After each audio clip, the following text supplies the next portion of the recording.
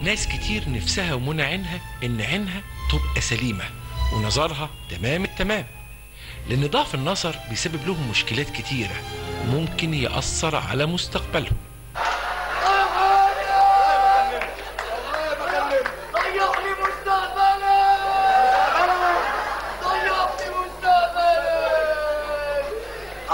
الحربية. إزاي زمان كان موضوع جراحات العيون مقلق. ولما تقول لحد انت هتعمل عملية في عينك يجي في باله على طول فيلم قنديل أم هاشم. وإنه ممكن يعيش أعمى طول عمره بسبب العملية.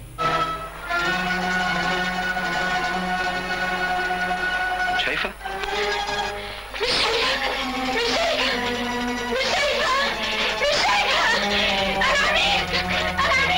لكن الحقيقة غير كده تماما.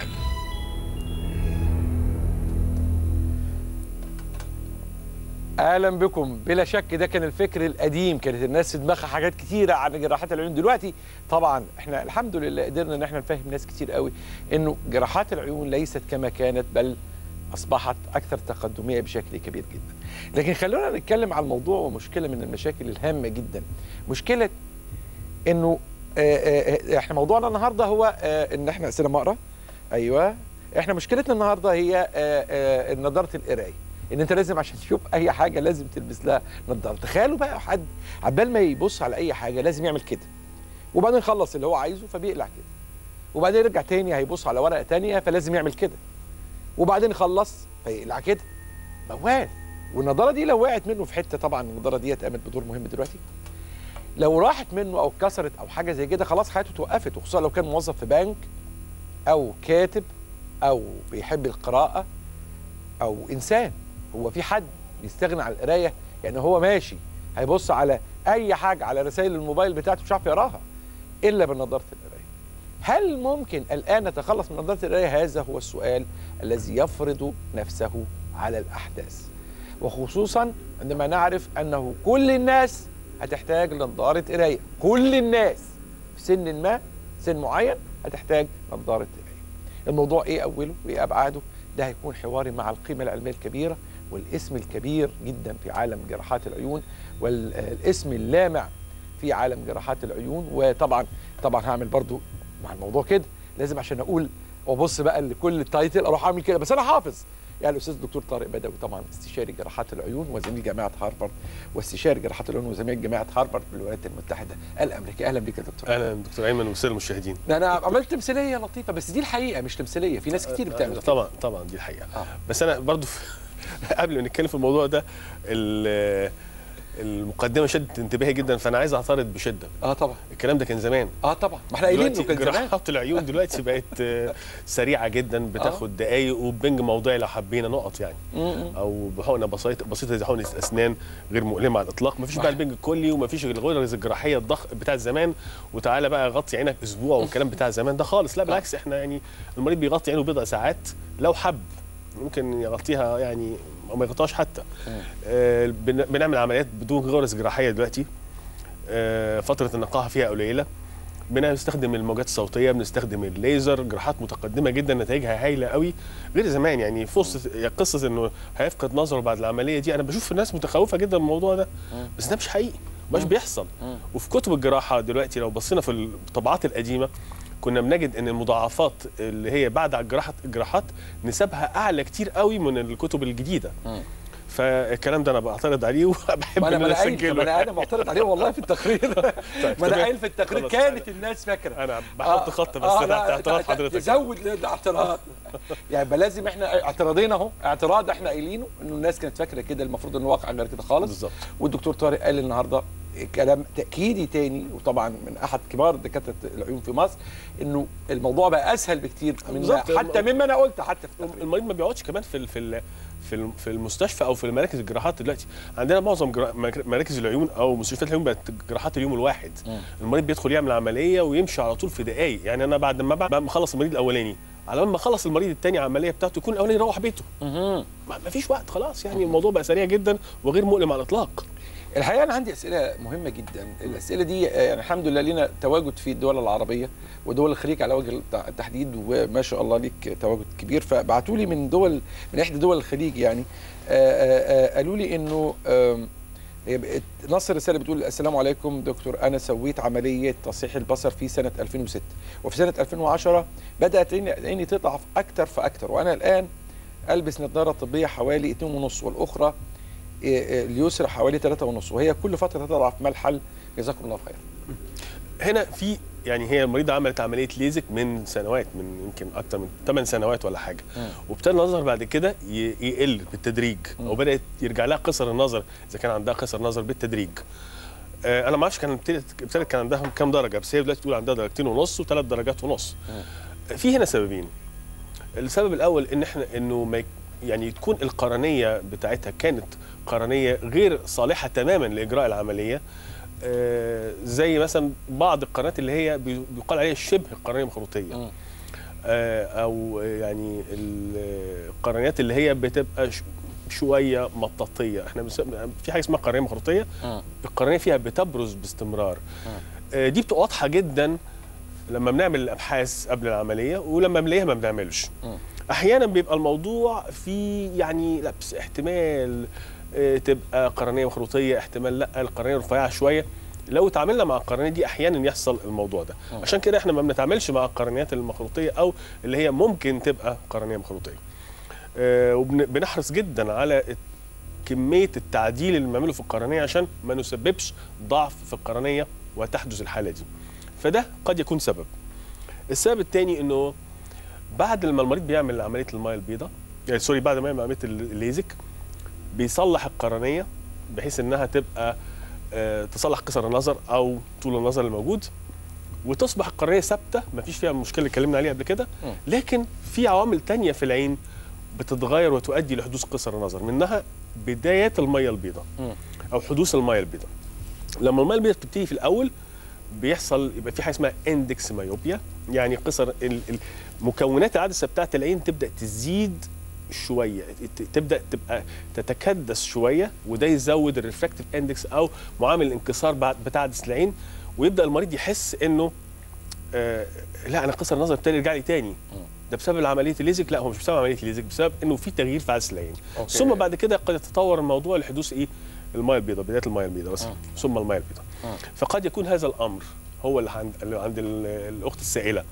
في الحالة دي بننصحها إنها تفحص كويس لأنه ممكن لو كان في فعلا آه، مية بيضاء أو بداية مية بيضاء ممكن علاج الموضوع ده بإنك تشيل المية البيضاء وتحط عدسات. ودلوقتي بقى عندنا عدسات اسمها العدسات المتعددة البؤر أو المتغيرة أو العدسات المتكيفة عشان تغني المريض عن نظاره المشي ونظاره القراءة. هتتخلص من درجتين ثلاثة بإنها تحط عدسة مظبوطة. وكمان هتتخلص من نظارة القراءة بالعدسات المتعدده البؤر أو المتكيفة أو متغيرة. فدي حلول ممكن تتعمل عند عندها. والفحص مهم جدا عشان نعرف الحالة. طيب. في حالة تانية ويعني هتجرني لطلب. يعني وإحنا بن- بن- بنقول الحالة دي هطلب من حضرتك طلب. ال- الحالة بتقول أختي أجرت عملية تبديل آه، عدسة بسبب ضعف نظرها بعد العملية وأصبح نظرها جيد للرؤية البعيدة فقط. أما نظرها للرؤية أو للقراءة القريبة فإنه أصبح سيء جدا وأصبحت الآن ترتدي نظارة سميكة جدا للقراءة والكتابة. فما هو الحل؟ عملت عملية تبديل عدسة مية بيضاء مثلا أو آه آه بسبب أو- ضعف. هي بتقول بسبب ضعف نظرها أو بعد ممكن العملية. تكون عندها قصر نظر شديد. مثلا؟ ففي الحالة دي من ضمن الوسائل مش كل حاجة بتعمل ليزك يعني. إحنا عندنا آه كان أنا كان في لي مقالة من من, من بضع سنوات يمكن من 10 سنين اسمها الليزك وبدايله. لأن كان في وقتها الناس ابتدت تتكلم على إنه أنا عندي قصر نظر مهما كانت درجته أنا عايز أعمل ليزك. يجي لك مريض عنده 15 درجة ما ينفعش تعمل ليزك. أو القرنية بتاعته رفيعة ما ينفعش تصلح لها تصلحها حتى كست درجات. فما ينفعش عشان ما ندخلش في مشاكل. فالمريض يبقى في دماغه إنه في ليزك. فقلنا للناس إن في حاجة اسمها يا جماعة الليزك صحيح؟ لكن في بدايله اللي هي تؤدي للغرض اللي هو التخلص من ضعف الإبصار سواء طول نظر قصر نظر فهنا بنقول للمريض إن أنت يمكن تكون عملت حاجة من الحاجات دي إنك شلت غيرت عدسة العين وحطيت عدسة ثانية عشان تصلح لك قصر النظر. إنما بعد العملية بقى حصل إيه؟ إن عدسة العين الطبيعية اللي إحنا شلناها دي كان عندها قدرة على التغيير على التكيف. لما حضرتك تبص لحاجة قريبة العدسه تغير أبعادها وقوتها بحيث إن أنت تقدر تشوف الحاجة القريبة. آه، لو بصيت لحاجة بعيدة العدسه برضو تغير قوتها. ده مش موجود في العدسات اللي بنزرعها. التقليدية.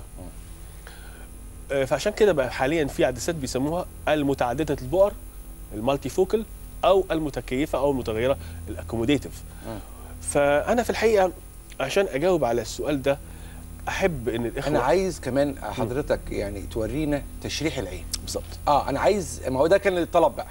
لأن أنا عايز أفهم إيه- إيه العدسه دورها هنا إيه؟ بديلة للقرنية اللي فيها المشاكل. بالظبط. آه. خلينا نشوف تشريح العين شكله إزاي أو العين شكلها إزاي عشان نفهم المشكلة هنا إيه. ده منظر العين والعين مكونة من صلبة اللي هي البيضة دي والصلبة تحتها في حاجة اسمها المشيمة. طبعا دي عدسات العين اللي عضلات العين بتحرك العين. دي المشيمه اللي هي بتغذي الشبكية داخل العين. ودي القرنية اللي إحنا شايفينها بنشاور عليها. وانسان العين أو البؤبؤ اللي بتدخل منه آه، بيدخل منه الضوء ثم الضوء ده يتجمع بعد كده آه، ودي عدسة العين اللي ورا الإنسان العين يدخل منها الضوء ويتجمع في مركز الإبصار في الشبكية. بيشبه عمل البؤبؤ ده عمل الإيه؟ الديافراجم الموجود في ال- العدسات بتاعت الكاميرات يعني. وده مقطع في العين قرنية وراها ال- الإنسان العين اللي هو ال- ال- ال- والقزحية الملونة ثم عدسة العين والجسم الزجاجي وراهم. في الحقيقة ده تشريح العين. طب ده يعني هيكون أبسط وأحسن؟ بالظبط. آه نفتحه بس كده أهو لأن هو بيبقى صعب في الفتح. آه ده نموذج مجسم للعين بس. طبعا ده دايما بنجد صعوبة في في فتحه طيب تمام. الحمد. لله. فتحناه طب تمام.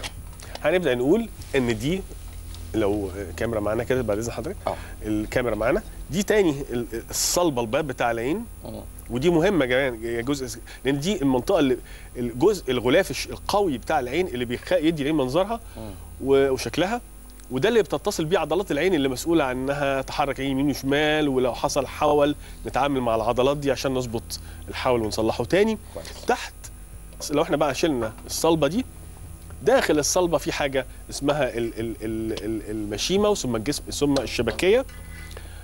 وبعدين إحنا يهمنا بقى في الموضوع اللي بنتكلم عليه إن في قرنية العين. ده الجزء الأمامي من الصلبة. هو جزء فعلا من نسيج الصلبة. بس ليه هو آه، يعني شفاف؟ تركيبته ربنا سبحانه وتعالى عامله نسيج غير مائي الألياف فيه يعني إيه غير مائي؟ غير مائي ما فيهوش يعني فيه deturgescence يعني يعني آه ما فيهوش مية dehydrated آه ما فيهوش مية. لأن المية ممكن تعمل غباشة بالظبط آه تغبش عشان. كده نلاحظ إن بعض الناس اللي عندهم مشكلة في القرنية عينيهم تصف... تزرق شوية والمية الزرقاء القصة اللي فاكرين المية الزرقاء آه. بسبب ارتفاع ضغط العين اللي يؤثر على القرنية ويحدث فيها يعني يف...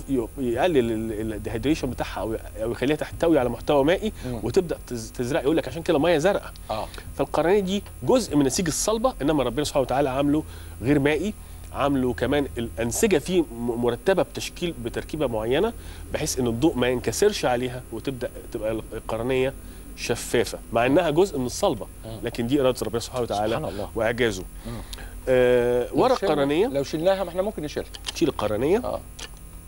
ورا القرنيه نجد حاجة. آه شفافة طبعا. ورا القرنيه نجد نسيج. آه النسيج ده بيبقى ملون سواء آه آه أخضر أزرق آه، أسود حسب كمية الصبغ اللي موجودة فيه. الصبغ لو قليل هو الصبغ الموجود جوه النسيج ده يبقى قليل يبقى القرنية هتبقى آه، هتبقى القزحية خضراء هيبقى أكتر شوية هتبقى بني هتبقى سوداء بعد كده لو أغمق أكتر. آه وموجود جواها آه، فتحة صغيرة بيسموها إنسان العين. دي اللي بتنظم دخول أو البؤبؤ يعني اللي بتنظم دخول الضوء زي الديافراجم بتاع الكاميرا اللي بيدخل. آه زي كده بالظبط. الحجاب العدسة بتاعت الكاميرا أو حدث اللي هو المدخل الكاميرا. مدخل الديافراجم أو الحجاب. الحجاب الحاجز الحجاب بتاع ده اللي بيدخل الايه الضوء وده له علاقة بكمية الإضاءة. يعني بالليل نلاحظ إنه البؤبؤ ده بيتسع عشان يدخل كمية ضوء كتيرة. آه ال ال في, ال في الضوء الشديد البؤبؤ بيقل عشان يدخل كمية ضوء صغيرة ما ما تأثرش تأثير سلبي على الشبكية. المخدرات بتلعب دور مهم في البق طبعا. بيغير. آه. إحنا بنقدر نعرف إن الشخص شخص المتناول مخدرات ولا لا من عن طريق البق البؤبؤ وساعات برضو بنعرف حالة المريض حالة ال ال ال إذا كان دخل في غيبوبة إذا كان لا قدر الله في بدا. يدخل في مشاكل كتيرة حس- حالة الوفاة بنقدرها نقدر نعرفها عن طريق البؤبؤ مم. آه نيجي بعد كده ورا البؤبؤ ده اللي بيدخل الضوء. الضوء بعد كده يعدي على إيه؟ العدسة بتاعة العين. والعدسة دي شفافة طبعا والعدسه دي في الحقيقة عاملة زي العدسه اللي بنشوفها في أي حاجة تانية بتبقى دي اللي هنتكلم فيها النهارده بالتفصيل. بالظبط. العدسه دي بتبقى لو ناخد بالنا شكلها بيسموها إيه؟ biconvex. آه يعني يعني, يعني مقعرة. يمين ومقعرة من الأمام ومقعره من الخلف. بالظبط biconvex. العدسه دي بتغير قوتها. يعني عدسة ال- ال- العدسة اللي بنشوفها في الكاميرا ولا في المصباح في أي مصباح بتبقى ثابتة. لأن التكع... التك... التكور بتاع العدسة بي... بي... بيغير قوت بي... بيؤثر على قوتها أو بيحدد قوتها. مم.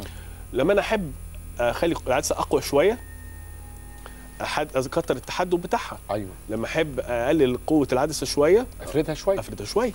العدسة العين في الحقيقة بتعمل لوحدها الكلام ده عن طريق ارتباطها باربطه موجودة في. الجسم مش موجودة هنا طبعا. آه طبعا. هنشوفها بقى لو حبينا نبص نشوفها في الفيلم. مم. الاربطه دي بتربط عدسة العين بالجسم الهدبي والعضلات الهدبيه اللي تحيط بالعين. لو. شفنا الفيلم. آه آه. تعال نشوف كده حاجة من الحاجات المهمة جدا اللي توريك إزاي بتقرأ. بالظبط. لو في حاجة قربت من مني دي العدسة. يحصل إيه؟ عدسة العين تغير حجمها. آه. آه، كده العدسة قرب يعني العدسه كده كده لو حاجة بعيدة.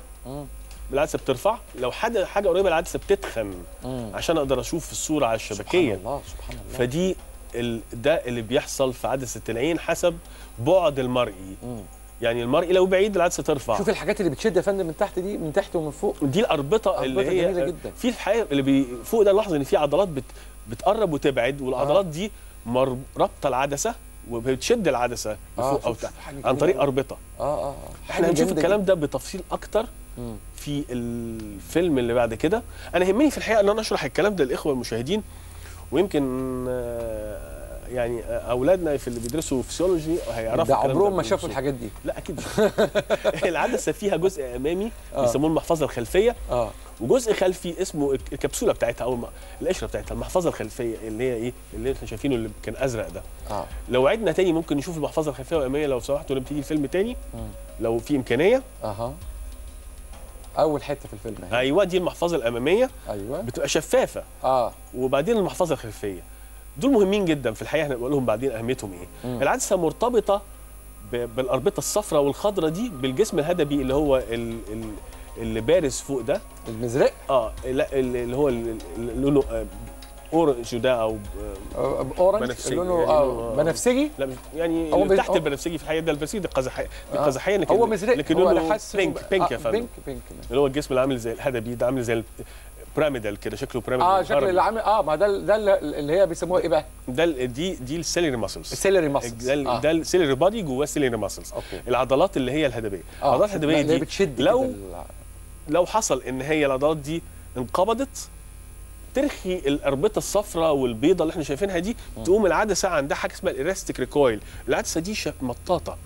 لو أنت شديتها تتفرد. لو أنت سبتها وما شدتهاش والاربطه رخت كده العدسة دي ترجع تاني تتكور طب نشوف كده يا. جماعة تاني الفيديو, الفيديو كده ونشوف إزاي العدسة عندها قدرة إنها تتشد وتت... وت... وتستعرض. نفسها وبعدين ترجع تاني لما كده العدسة كده إيه تخنت لأن ال- ال- الجسم ال- الاربطه دي ثابت آه. بسبب انق- انقباض الجسم الهدبي أو عضلات الجسم الهدبي عظيم آه لما الجسم الهدبي ريلاكسد الاربطه اتشدت والعدسة رفعت مم. نشوف كده العدسة لما ترفع شكلها بيبقى عامل إزاي آه شوف كده العدسة بقى لما بترفع بتبقى أشبه بكانها بالظبط بيضاوية الشكل بالظبط هي آه بيضاوية الشكل بيضاوية الشكل بس هي بترفع وتتخن تمام. وتتخن. فده ب... الشغل بتاع الجسم الهدبي ده اللي بيؤثر على الأربطة اللي ماسكة العدسة يخلي العدسة بتاعت العين تتخن أو ترفع حسب بعد المرئي مم. وده مش موجود في العدسات اللي إحنا بنستخدمها العدسات الصناعية. سبحان الله مش موجودة طبعا القصة دي. فاحنا بنعمل إيه دلوقتي؟ بنحافظ على المحفظة الأمامية معظم المحفظة الأمامية والمحفظة الخلفية ونفرغ محتويات العدسة. لو في مية بيضاء مثلا بنفرغ محتويات العدسة ونحط عدسة داخل جوه جوه المكان جوه المحفظة دي. العدسة دي قابلة للتعامل وللت... وللتأثر بحركة الجسم الهدبي. والأربطة. يعني لو ال- الأربطة دي رخت العدسه دي تقدر تاني تحرك العدسة الصناعية تحرك آه، نفسها وتغير موقعها جوه العين وده يؤثر على قدرة البصر ويخلي الشخص يقدر يشوف الحاجات القريبة. لو لو الأربطة دي شدت يبقى العدسة دي ترجع لوضع أمامي شوية وفي الحالة دي الواحد يقدر يشوف بعيد. فتغيير في المرئي يغير في الشد على الأربطة وبالتالي يغير في العدسة الصناعية اللي بنسميها العدسة المتع... المتغيرة أو المتكيفة ال accommodative lens okay. ودي عدسات موجودة حاليا آه، حديثة وبدات تزرع وعاملة نتائج كويسة في عدسات أقل شوية في ال... يعني مش محتاجة الحركة دي بنسميها ال multifocal lens أو متعددة البؤر مم. ودي عشان ما نحتاجش للظاهرة دي ده منظر عدسة متكيفة وهي بتشتغل بقى. الأربطة تح- اتحركت إحنا شلنا عدسه عين وحطينا عدسه متكيفه حطينا عدسه متكيفه الأربطة اتحركت واتغيرت العدسة بتبدأ تتحرك لورا أو للأمام حسب بعد المرئي. دي عدسات متكيفة. ده الجديد في الموضوع. مم. فبالنسبة للأخت اللي كانت بتتكلم بقى أو الأخ اللي بيتكلم أنا والله يعني عملت ميه البيضاء أو عايز أعمل عملية الميه البيضاء طب أعمل إيه عشان أشوف ما لبست نظاره قراية أو أنا بعد العملية بلبس نظاره قراية؟ كان ممكن يبقى ده الحل. طيب هنقول إحنا برضو لازم نقول الاخوه يعني طب أنا عملت العملية ومش عايز أغير عدسه العين ال- العدسة الصناعية وأحط عدسة متكيفة البؤر أو عدسة متعددة البؤر طب أعمل إيه؟ هنا في حلول كتيرة. لازم تاني نرجع لتشريح العين. ونقول إنه أنا عندي قرنية ممكن أتعامل مع القرنيه عشان أحل مشكلة نظاره القراءة. مم. وممكن أتعامل مع الصلبة بتاعة العين. نشوف تاني أدي القرنية ودي الصلبة. يعني اللي هي الجزء الأمامي في العين. آه. ممكن أتعامل بس أنا هخليها لآخر حاجة أتكلم فيها لكن هتكلم أقول إن أنا ممكن أتعامل مع الصلبة اللي هو الجزء الأبيض ال- القوي ده الم- المغلف للعين. إحنا مش عرفنا باني أحط حاجة ها في بعض في جراحة هنا بتتعمل. اسمها تعديل صلبة العين. بالظبط. الجراحه دي بنتعامل معاها مع الصلبة بحيث إن إحنا نغير في الصلبة شوية. وده بيؤدي. الأجزاء اللي إحنا بنز- بنزرعها في أو الحلقات دي اللي بنزرعها في. أو في. في الصلبة دي بتؤثر على الصلبة. وبتخلي الصلبة آه، بتقرب شوية من العين وده بيقلل آه، أو بيغير ال- الشد على على الأربطة وبالتالي يدي فرصة أكتر للشخص إن هو يشوف المرئيات القريبة دي جراحة يعني أدت لبعض النتائج لكن مش نتائج هايلة قوي مم. فابتدوا يفكروا في حاجة تانية إن هم يتعاملوا مع ال- العدسة بتاعة العين الطبيعية يسيبوها زي ما هي ويحطوا عدسة إضافية بنسميها ال aphakic multi aphakic؟ أف- ال aphakic aphakic multifocal lens ال phakic multifocal lens. الفيكك اللي هي العدسة ال- اللي فيها الفيكك يعني عدسة يعني ال- ال- ال- العدسة بتاعت العين موجودة. آه. الفيكك مش موجودة. تمام. فإحنا بنسيب العدسة بتاعت العين الطبيعية إحنا شلنا القرنيه آه. وبنحط عدسة أمامية مم. بتتركب بمشابك في القزحية. ودي تدي رؤية جيدة للحاجات القريبة والبعيدة. مالتي فوكال متعدده الايه البؤر. دي زراعة عدسة ورا القرنية ولا في القرنية؟ يا فندم ورا القرنية. ورا القرنية. ورا القرنية. آه، ثم يأتي زي بعد كده مثلا؟ ثم يأتي بعد كده التعامل مع القرنية. شخصيا؟ آه بقى. إحنا آه. قلنا خلاص إحنا اتعاملنا مع الصلبة قلنا إنها مش ناجحة قوي الحكاية دي آه. أو لسه ثم تعاملنا بعد كده مع إن إحنا حاطين عدسة إضافية وبعدين نتكلم بقى على إيه؟ زرع الحلقات جوه القرنية. بنتعامل مع القرنية. هنزرع بقى حلقات جوه القرنية. لو أنا عندي حد عنده قصر نظر طول نظر هن- هنعمل الشريحة بتاعت الليزك أو القشرة بتاعت الليزك اللي إحنا عارفينها قبل كده بالليزر سواء femto laser أو mechanical آه، keratome. وبعدين نحط الحلقة بتاعتنا. الحلقة دي بتبقى عبارة عن شريحة مدورة وفيها ثقب في النص. الثقب ده بيؤدي لدخول كمية بسيطة من الضوء مش محتاجة انكسار كتير وده بيدينا رؤية جيدة للمرئيات القريبة. مم. والجزء ال- ال- الخارجي ده بيساعدني على المرئيات البعيدة. ده حل مشكلة. أنا أشوف الفيلم ده تاني لو سمحتوا يعني عشان اللي هي زراعة. العدسة جوه القرنية. هو ده diaphragm ده آه. آه. حاجة اسمها Kamra inlay ده نوع من أنواع ال diaphragm أو بنسميه آه، حجاب آه، أو ما هو الحجاب. بالظبط diaphragm آه كده. حجاب أو عدسه fenestrated diaphragm في الحقيقة. يعني آه. أو هو عبارة عن آه زي عدسة جوه إحنا عملنا الليزر. آه. الليزك بتاعنا صلحنا طول النظر أو قصر النظر. ثم بقى عندي مشكلة نضاره القراية. حطيت لها الحلقة السوداء اللي إحنا حطيناها دي جوه العين. شريحة رفيعة جدا وفيها ثقب في النص. دي بتؤدي لتحسن القدرة على القراية. وبعدين برجع الشريحة بتاعتي. يبقى أنا حليت هنا مشكلة قصر أو طول النظر لأي واحد وحليت هنا مشكلة نضاره القراءة لمن هم فوق الايه ال 40 سنة. طيب. ده حل تاني اللي في التعامل مع القرنيه قبل ما نطلع للحل الثالث نطلع فاصل قصير ونرجع تاني نكمل حلولنا أوكي؟ طيب. الحلول إحنا وقفنا دلوقتي عند حلول عديدة ومتطورة للتعامل كثيرة. مع مشكلة نظاره القراية بالظبط. اللي هي إن أنا بتضايق جدا من إن أنا عايز أبص على حاجة فلازم أعمل كده. تمام كده؟ تمام. ولو إن شكلي حلو في النضاره دي. هنطلع فاصل ثم نعود مرة أخرى لاستكمال الحوار مع العلم القيمة العلمية الكبيرة في واحدة من أهم مواضيع العيون واصعبها واكثرها دقة. الأستاذ الدكتور طارق بدوي خليكم معانا. اوعوا تروح فاتت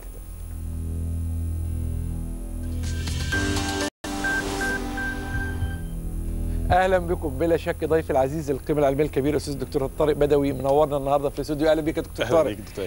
آه ال- القرنية واضح إن ليها لعب وفيها لعب كتير القرنية دي لتصحيح أو للابتعاد عن نظاره القرايه أنت قلت لنا. إن أنا بحط زي شريحة صغيرة جوه القرنية نفسها ممكن تخليني أقدر شريحة أستغنى معتمه وفيها فتحة في النص تاني؟ يعني. يعني ده دي شريحة معتمه آه. في إيه تاني ممكن في ممكن؟ نحط في القرنية برضو عدسات في أنواع من العدسات آه، الصغيرة جدا الشفافة تماما بقى اللي فاتت ال Kamra inlay دي كانت مش شفافة مم. يعني هي عبارة عن اسمها diaphragm Kamra inlay. يعني ده اسمه تجاري مش عايزين نتكلم عليه عشان ما حدش okay. يزعل مننا. okay. لكن هي ده عبارة عن دايفراجم أو زي ما اتفقنا شريحة حلقة آه، رفيعة جدا وفيها ثقب في الداخل في النص. زي البين هول اللي إحنا كنا بنستخدمه. فاكر حضرتك لما كنا بنستخدم في عمليات ال... في في, في عيادة العيون؟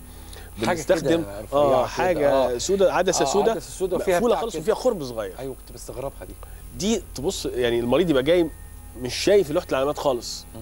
وعنده أربع خمس درجات قصر نظر مش شايف لوحة العلامات.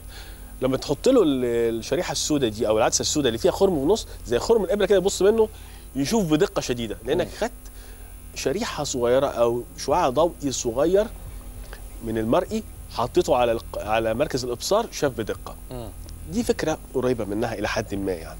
طب الليزر دوره إيه بقى في في الموضوع ممكن نحط بقول لك حاجة عدسات اللي هي إيه؟ العدسات الشفافة تماما ودي تؤدي لزيادة في في في تقعر القرنية أو في تحدب سوري القرنية. وده يؤدي برضو لتأثير مشابه بأنه يخلي المنطقة المركزية تعرف تقرأ كويس. الحاجات القريبة. مم. أنت عوضت التغير بتاع القر... بتاع القر... ال- العدسة العين اللي قلنا عليه قبل كده. العدسة كانت بتغير حجمها. عوضته بانك حطيت عدسة جوه في حتة صغيرة في القرنية أمام مركز الابصار بدقة وده بيخلي الشخص يشوف كويس. في ده كله في القرنية. طب ال- الليزر دوره إيه بقى في ال- في التعامل مع المشاكل بالظبط. يعني ده لو إحنا بنزرع عدسات. مم.